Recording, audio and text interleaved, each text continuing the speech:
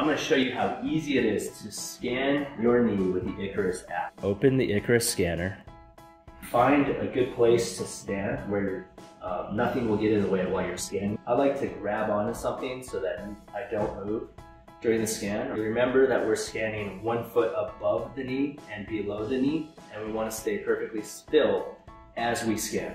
I simply hit the start button. I have three seconds. You have to be pointed at the knee because it locks on to the thing that you first pointed to. Here we have a scan that is about 270 degrees around the front of my leg and I simply save this and submit it to Icarus and it's that easy.